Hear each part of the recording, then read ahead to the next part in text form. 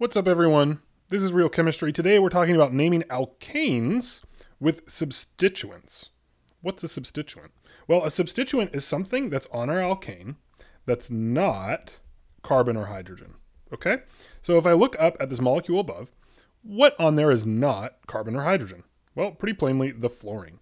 And that, in fact, is the substituent in this case, fluorine. So we're thinking about naming our alkanes when they have something on them that's not carbon or hydrogen. You might be wondering at this point, why do we care so much about these alkanes?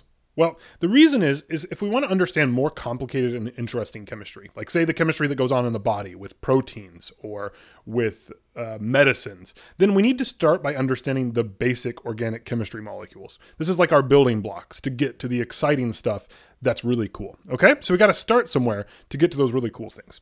How are we going to name these things? Well, there's a whole list of rules that we're going to go through. And if I give you all the rules now, it would feel overwhelming. So we're going to go one rule at a time, and we're going to work a bunch of practice problems as we do it. So this first rule for naming alkane says number the carbon chain and write the base name. So all I'm going to do is I'm going to count the carbons. So in this case, one, two, three, four, five. Okay, so what that means then is that if I look up my uh, alkane chain lengths, I see that five carbons goes with pentane. So this is a pentane. Now it's not just normal, regular old pentane because, right, we have the fluorine on it. So how do we tell people that there's a fluorine there? Well, maybe we could just write like fluorine pentane. Okay, you could do that. Two problems there. Fluorine, that seems a little long and ugly. And the second thing is, how do I know where the fluorine is? Maybe it's on this carbon or maybe it's on this carbon, or maybe it's on this carbon. I need a way to indicate that. And as you might expect, I'm going to use the numbers I just drew here to tell me where it goes. So this brings us to our second rule that's going to help us name this molecule. We always give the substituent the lowest possible number. Here's a list of common substituents. Okay, fluorine, we name fluoro.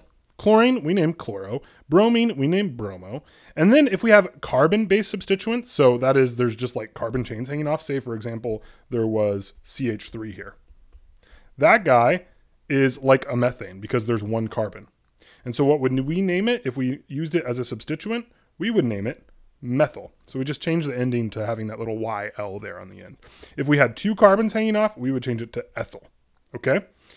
So uh, that is how we add our substituent names, and we always give the substituent the lowest possible number. So let's finish naming this guy.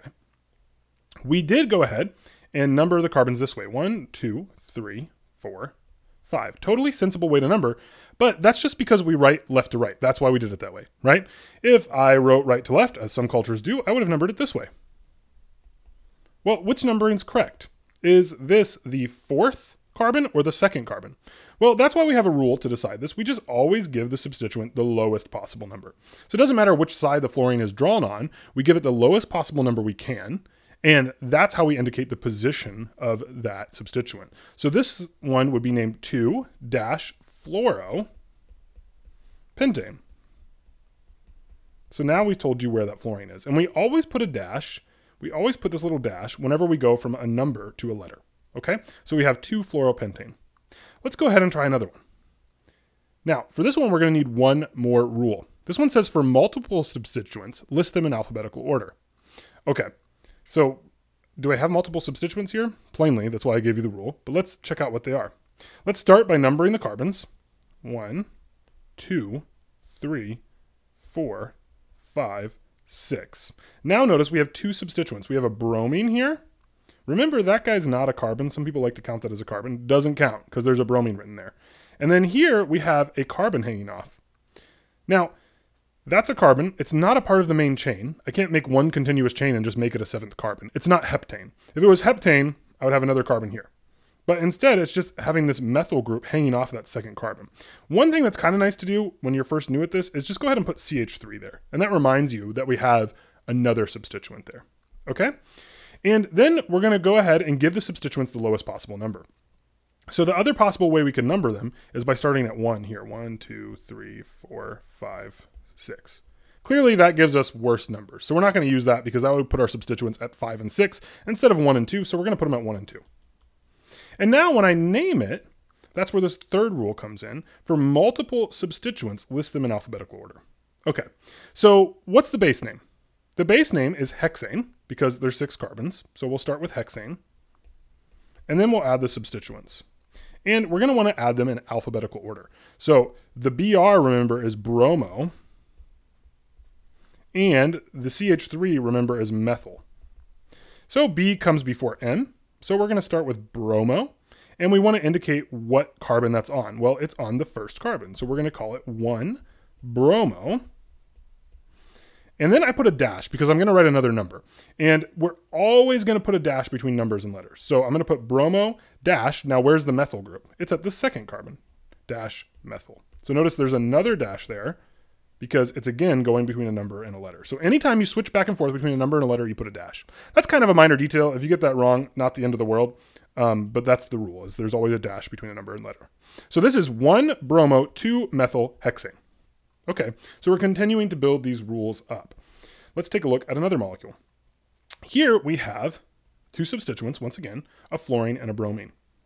This is a really common one for us to miscount carbons. Remember that this is not a carbon and this is not a carbon. So when we count our carbon chain, we're going to go one, two. Okay, uh, we could alternatively name it one, two in the other direction. Which one's better? Well, here we need another rule to tell us. Should we give bromine the one or should we give fluorine the one? You might have a guess based on our last rule.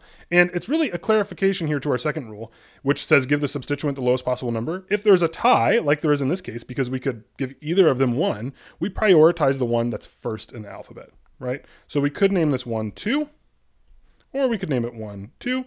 Because bromo starts with a B, we're going to prioritize this one. So this one gets priority because it's first in the alphabet. It comes before F. And so we're going to go ahead and erase the pink numbering. We're not going to use that.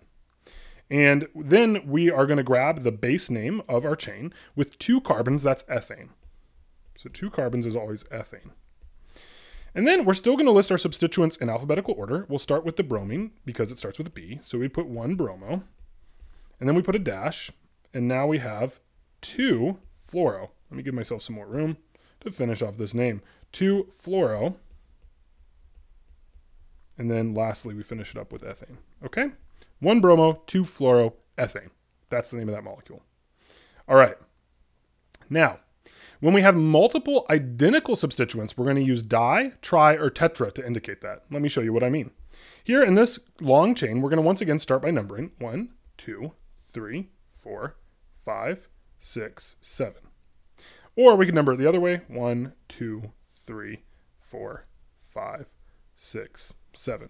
Notice that we have two substituents here, two carbon groups hanging off. We'll put the CH3 on there to help us remember that those are, in fact, methane.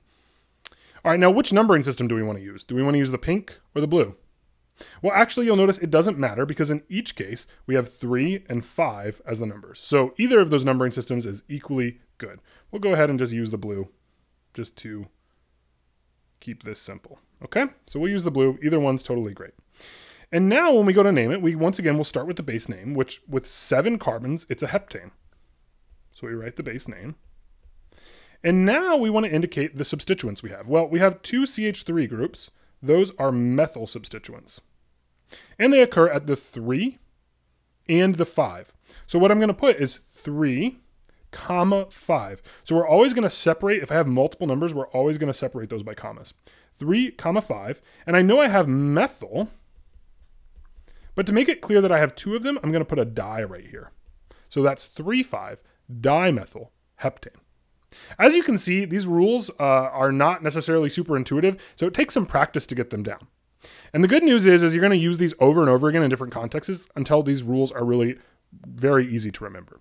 Okay, one last little caveat we got to add here. We have our rules, but we do need to refine the first rule just a little bit to make it work in all cases. Check out this molecule.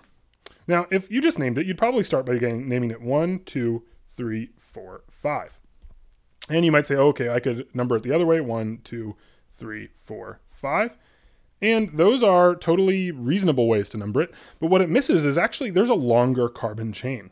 So, what if, for example, we'll use orange, if I numbered it one, two, three, four, five, six. Notice if I highlight this carbon chain, I actually get a longer carbon chain. So which one should I choose?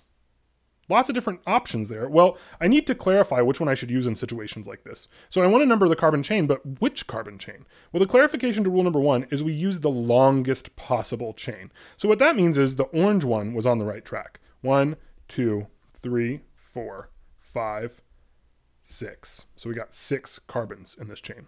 And now, of course, once I've picked the longest chain, I could still number it either direction. So I could go one, two, three, four, five, six. Which one should I use? Well, one of them gives me three and five for these substituents. And one of them gives me two and four for the substituent. So which numbers are lower? Well, we want to give the substituent the lowest possible number. Remember, that's rule two. So we're going to use the pink numbers because those give the substituents the lowest possible number. So let's go ahead and use the pink numbers. We'll erase the orange ones. Get out of here, orange numbers. You're wrong. So we're going to use those. And in this case, once again, we'll add the CH3 explicitly. So we have carbons at the end of these, right? So we're going to go ahead and put CH3 and CH3. And now, when we think about what substituents we have, we have methyl groups. So once again, we'll start with the base name. Six carbons is a hexane. We have six carbons in our main chain, and that determines the base name. And then we have two methyl groups. Those methyl groups occur at 2, comma 4. They occur here and here. And then I put a dash, and now I'm going to use di because I have two methyl groups, dimethyl hexane. So that's 2,4-dimethylhexane. So that's a basic introduction to the rules. And here is a complete list of our rules with all of those caveats. So this is a nice thing to take a picture of to have as you go through more of these problems. Thanks for watching this episode. Ask any questions you got below.